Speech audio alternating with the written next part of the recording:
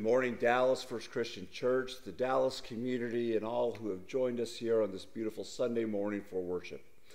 We are here in this sanctuary uh, to come into, uh, into the presence of God. The reality is, you are at home or wherever you are watching this at, and you are also in the presence of God wherever you may be. We may be separated by miles, but we are gathered together in the Spirit of God. So this morning, as we worship together, let us hear our opening scripture from the Psalms and have our opening prayer as we continue to come into God's presence in worship. Hear these words from the psalmist Psalm 89.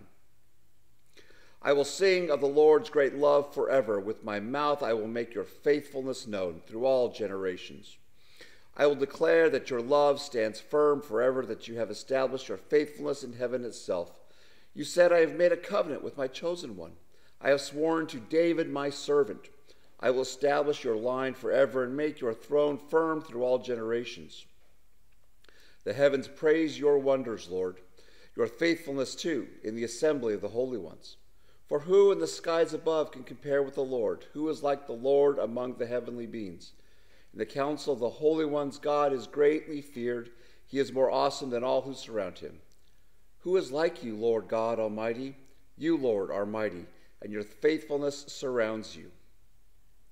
As we continue to come into God's presence, let us pray together this morning. Gracious God, we thank you for all that you have given to us. We thank you for who you are, your mighty works that we have seen, your creation that surrounds us. Lord, we come this morning bringing you all of who we are for you welcome us into your presence. Your grace and your love and mercy surround us. For there's nowhere we can go that is apart from you and apart from your love. And so, Lord, as we worship this morning, touch our hearts, challenge us where we need to grow. We ask, Lord, that as we worship together, that you will uh, be pleased, you be honored and glorified by our worship. And we ask all of this, Lord, in Jesus' name. Amen. As we worship this morning, let us sing Take Us to the River.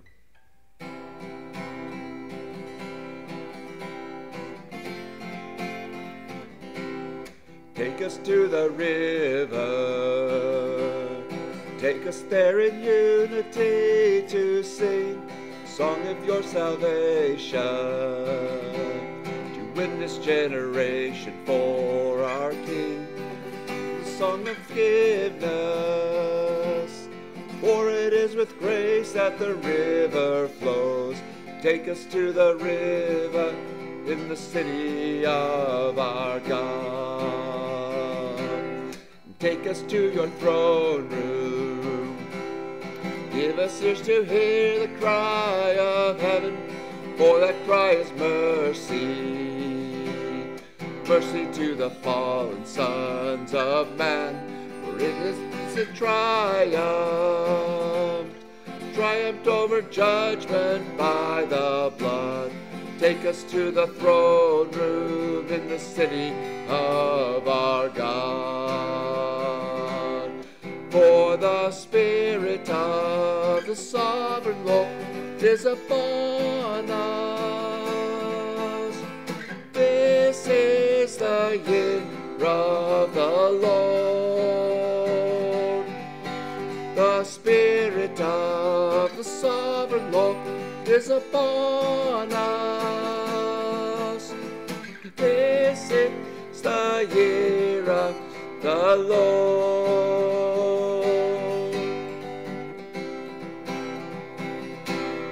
Take us to the mountain. Lift us in the shadow of your hand. Is this your mighty angel? Stands astride the ocean and the land. For in his hand your mercy showers on a dry and barren place. Take us to the mountain in the city of our God. For the Spirit of the sovereign Lord is upon us.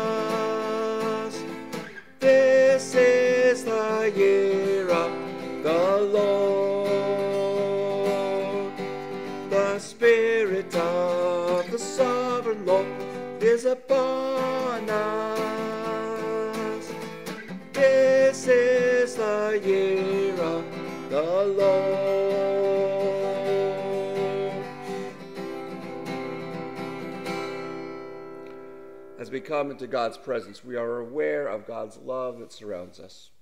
Paul reminds us in Romans 8 that uh, nothing can separate us from God's love. And God's love is for all people. And there are really no outsiders uh, when we choose to accept and, and recognize God's presence around us.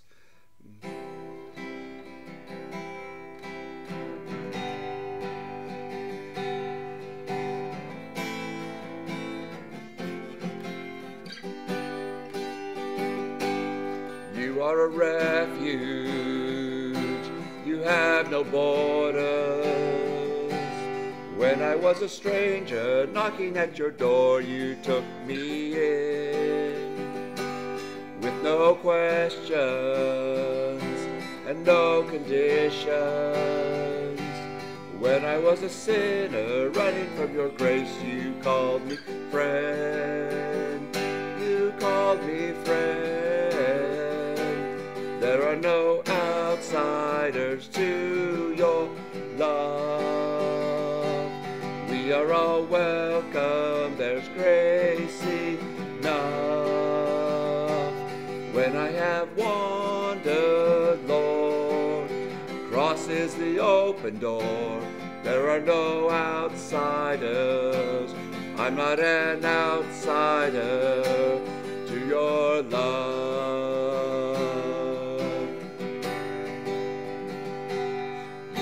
harbor in every tempest. When my soul was shipwrecked, tossed upon the waves, you calmed the storm. You are the Father, there are no orphans. Every tribe and nation gathered in your arms sings with one voice, sings with one voice. There are no outsiders to your love.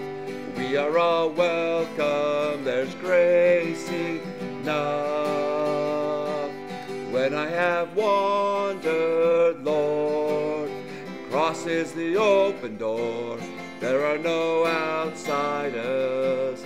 I'm not an outsider to your love.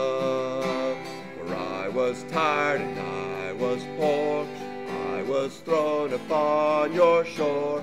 I was homeless and afraid till I heard you call my name. Now I'm ransomed, I'm restored, resurrected, I am yours. I am loved, yes, I belong. Oh, my soul has found its home. There are no outsiders to your love. We are all welcome, there's grace enough. When I have wandered, Lord, cross is the open door. There are no outsiders. I'm not an outsider. There are no outsiders. We are not outsiders to your love.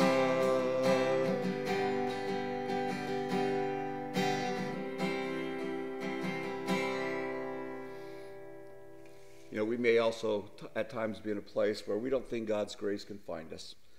Uh, bad things are happening. We're, we're fighting depression, uh, battling grief, wondering what's next. And we wonder where God's grace is. But God's grace finds us, even in the lowest places, in the good times and the bad times, in the normal things of life, in the extraordinary things of life. God's grace is present.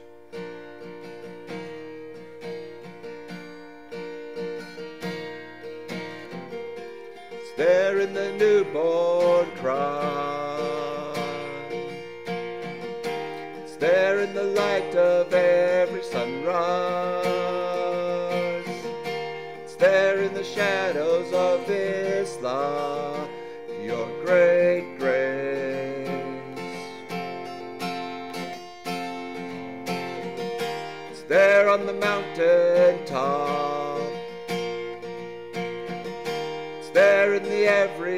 and the Monday. It's there in the sorrow and the dancing.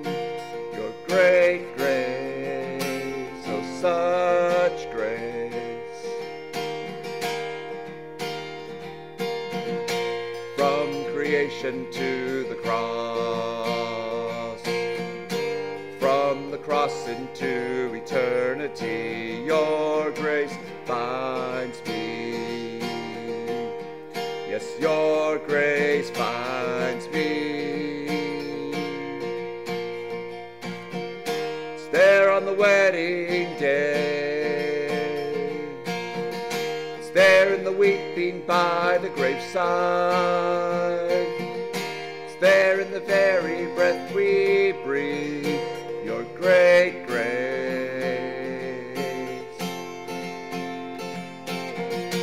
From creation to the cross. From the cross into eternity, your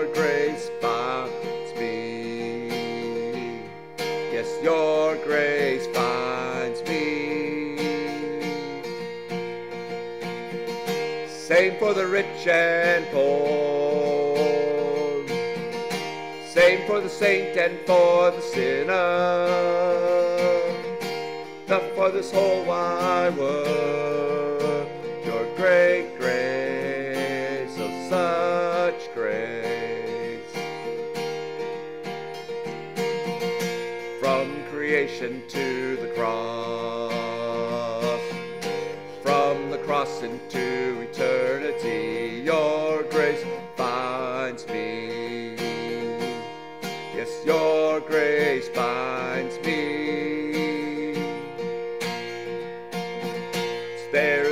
darkest night of the soul.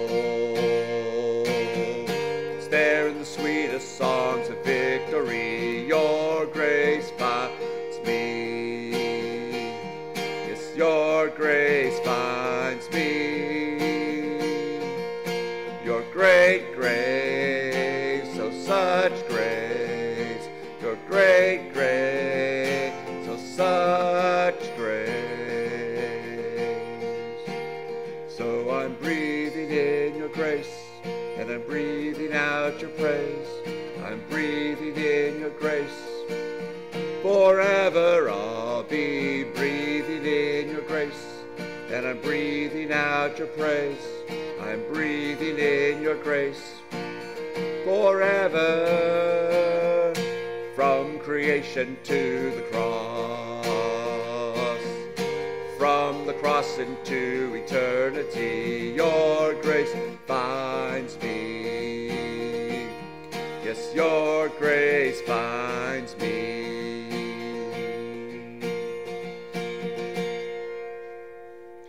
The grace of God finds us wherever we are. The grace of God surrounds us in all of life's situations. As we remember God's grace this morning, let us pray let us lift before God the requests of our hearts, the requests of our families and our community, all those that you are aware of. Uh, we just ask that you lift them up as we pray together this morning. Gracious God, thank you that your grace surrounds us in all situations, that your grace is always present with us. Lord, help us to be aware of your grace. Open our eyes, our ears, our hearts and our very souls to be aware of that grace around us. Lord, we do lift before you those who are in need this morning, those who are struggling with health issues, battling cancer, those who are, are going through grief and loss. Lord, those who are in the hospital, those who need healing not only of body, but of heart and soul this morning. We hold them all before you. We thank you, Lord, that we can come and lift them up, that you are the ultimate healer. Lord, we pray for the families in our community. We pray, Lord, that you will uh, just hold them at this time. As the children, the kids, the students start uh, their official summer vacation. Uh, we pray, Lord, that you will continue to provide for their needs. Uh, use the churches here in Dallas to help with that. Uh, we give you thanks for the teachers and all the all those who worked with the kids, especially during this transition time. Uh, we just pray, Lord, that you will give them rest and you'll give them a chance of renewal. Uh, Lord, we pray for those families who are in need, uh, that you will provide for them, whether it's jobs or finances or food, uh, housing, whatever it might be, Lord. And we also pray that you will bring reconciliation where there needs to be reconciliation. Lord, we pray for our community. Lord, as we go into the summer here in Dallas, uh, we just ask, Lord, that you will draw us together in unity. That as the churches pray together, as we work together, that you will take some time uh, to use us in mighty ways to change lives and to bring healing. We pray for our country, Lord, in the same way that you will use churches and people of faith across this country to touch lives and, and bring unity. You said in your, your word that as, as we, as believers pray, as your children pray, that you will bring healing to the land. And so, Lord, we pray for that healing. We pray that you will bring us together. We pray for our leadership. We pray for unity. We pray for peace. We pray for reconciliation.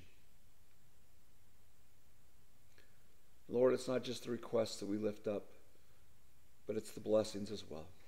The blessings of new life, the blessings of new opportunities, the blessings of renewal and rest. We hold them before you, knowing that it is in your hands that all of these rest. The good and the bad, the struggles and the victories, everything that we are and everything that we carry with us rests in your hands.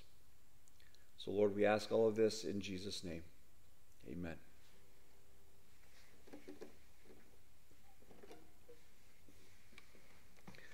This morning we will be continuing in the book of Romans, chapter 6, and we'll be beginning at verse 12. And this is going to be a long passage, uh, fair warning, and there's a lot here to unpack. But this morning I, I will be lifting out just one or two, two core parts of this text for us that will hopefully be an encouragement to you and to your walk and will draw you close to Christ this morning. Hear these words, follow along from Romans chapter 6, verses 12 through 23. Paul writes, Therefore, do not let sin reign in your mortal bodies so that you obey its evil desires.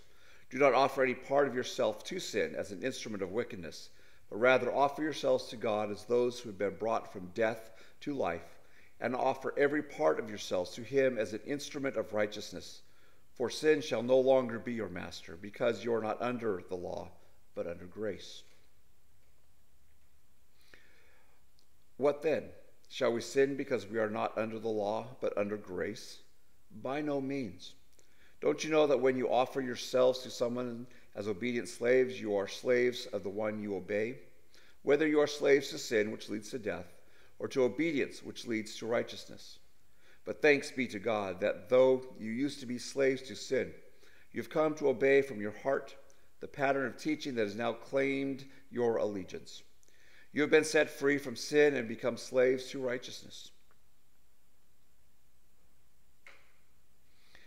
I am using an example from everyday life because of your human limitations. Just as you used to offer yourselves as slaves to impurity and ever increasing wickedness, so now offer yourselves as slaves to righteousness, leading to holiness. When you were slaves to sin, you were free from the control of righteousness. What benefit did you reap at that time from the things you are now ashamed of? Those things result in death. But now that you have been set free from sin and have become slaves of God, the benefit you reap leads to holiness, and the result is eternal life.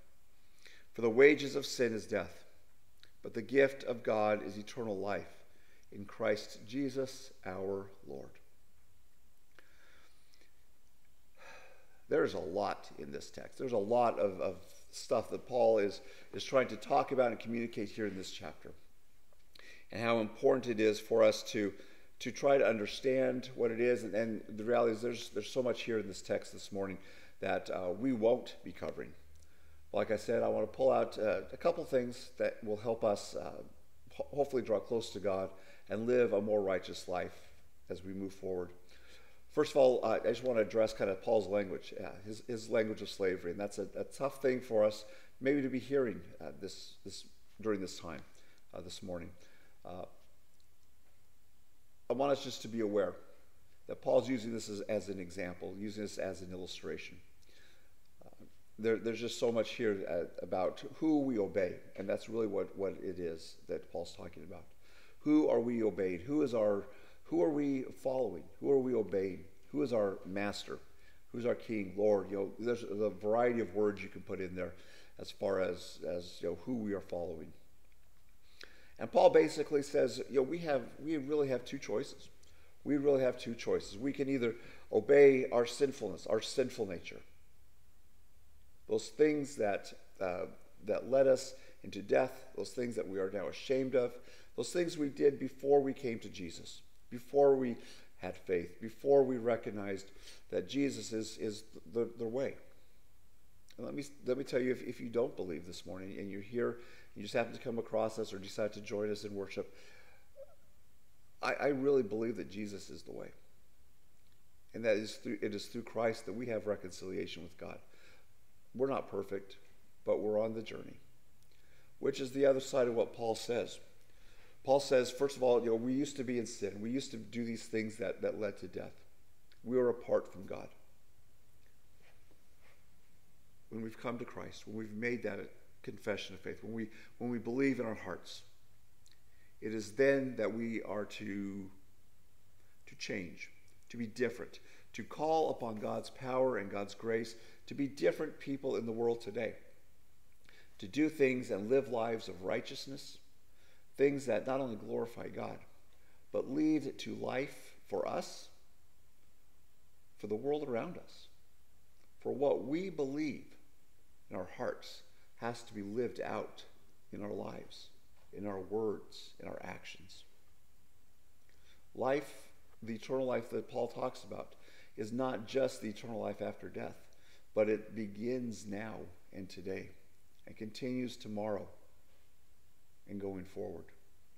So when we talk about life in Christ, even eternal life with God, we're talking about even life here on earth. So here's my question for us this morning. On this journey of faith that we're on, each of us is in a different place. Are you allowing God to transform your life? Are you allowing God to be uh, your Lord and Master in all areas of your life? I know I try to try to each day think about that, look at that, look at areas of my life that may need to be uh, dealt with by God. Have God's grace poured upon them. You know, no one's ever going to get it all right. Even Paul says, I have not yet attained it, but I keep pressing forward. I keep pressing on to take hold of that prize. You know, we keep looking forward, we keep moving forward, trying to do better. And when we fall, when we fail, we confess those sins, and, and it's as if God reaches down and lifts us up. He says, Hey, Darren, get up. Let's try this again. Remember that grace that we live in, that we're surrounded by. That grace not only uh, lifts us up when we fall, but it empowers us as well to, to live out all our lives. You know, when we're struggling with a decision or an action, when we're struggling to find the right words or have the right attitude, it's a matter of saying, God, I want to live in your grace and by your power. I want to do the things that you have called me to do. And by your grace, God, I, I, I will do those things. When we live in God's grace, it's not only about forgiveness, it's also about living in power, empowered by that grace. And so this morning I want to challenge you. Take a look at your life. Take a look at the things that are going on, not only around you, but within you. What is it that you need to this morning say, God, I, I confess these to you. I fail, I've fallen. Where do you need to hear and experience God's grace in your life? Not only to lift you up when you fall, but to empower you to live today, to live a righteous, God, godly life today. I think that, that's the core of what Paul's saying here in this, this part of chapter 6. You know, we used to live a life of sin, Uh, things we were ashamed of, or things that went against God's law, God's calling for us. And by when I say God's law, I'm not necessarily talking just about the Ten Commandments, but what God has placed upon our hearts. Even those, those two commandments, Jesus says, love the Lord your God and love your neighbor as yourself. Where have we failed to love those around us? And we say, God, I want to do better. I want to be the, the woman, I want to be the man, I want to be the person, the God of God that you want me to be.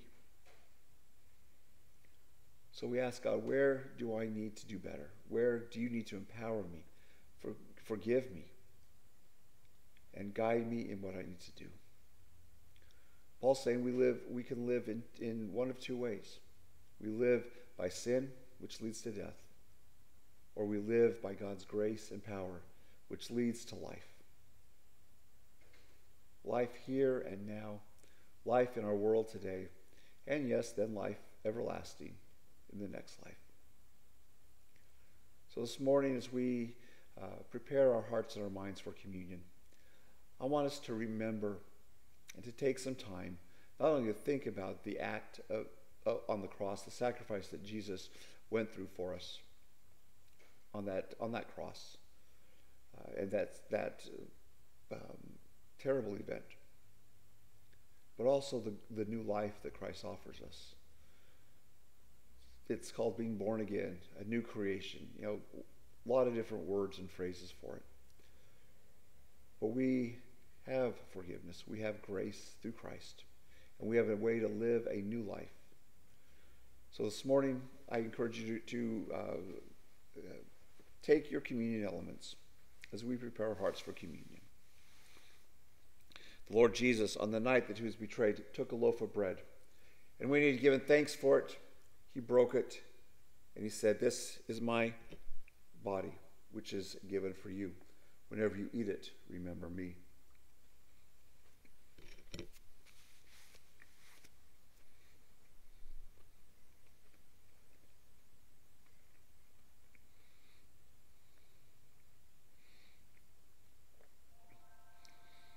Also took a cup from the table and he blessed it. And he said, This cup is a new covenant in my blood, shed for the forgiveness of sin. Whenever you drink of it, remember me.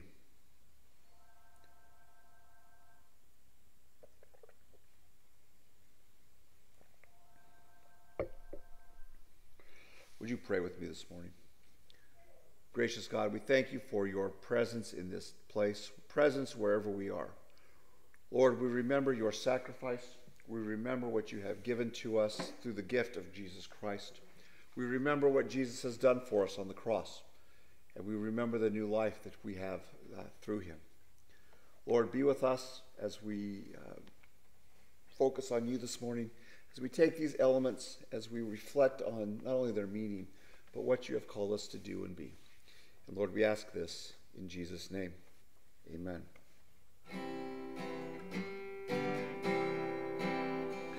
Jesus loves me, this I know, for the Bible tells me so.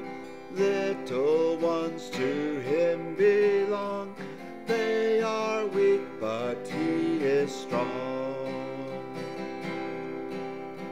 Yes, Jesus loves me,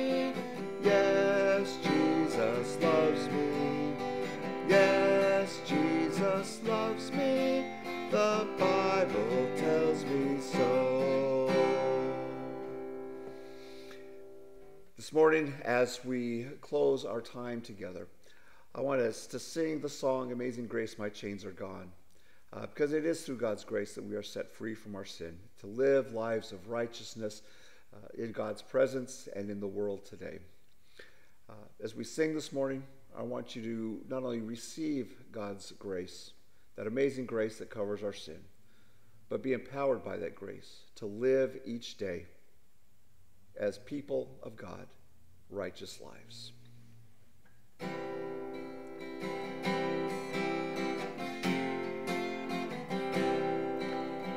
Amazing grace, how sweet the sound that saved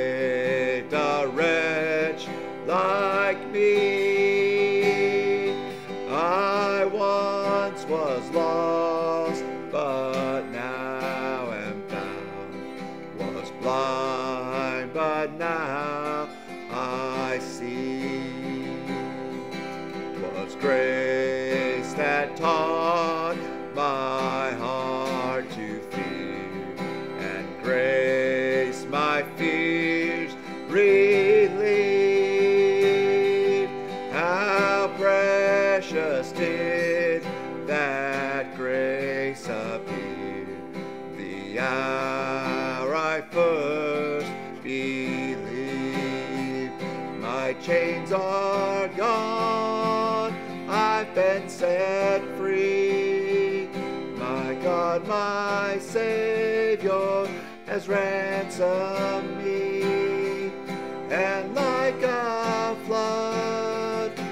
mercy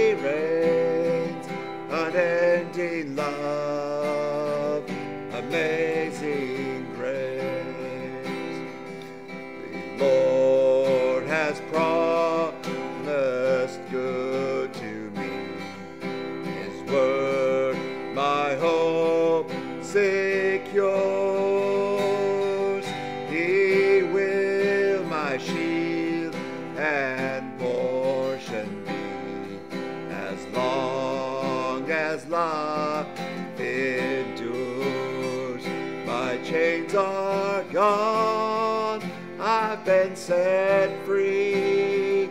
My God, my Savior has ransomed me, and like a flood, His mercy rains, unending love, amazing grace. The earth shall soon The sun forbear